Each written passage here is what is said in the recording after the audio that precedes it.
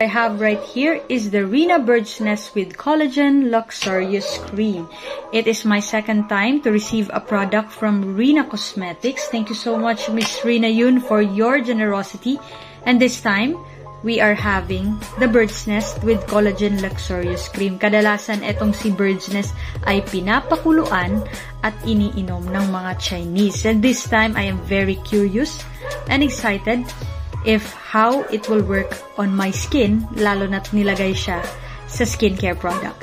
So, in this side, we have the warning, ingredients, directions, and you can follow Facebook, Instagram, Rina Cosmetics for more details and make sure you guys subscribe to my channel Jaya Chan to see the full review of this product.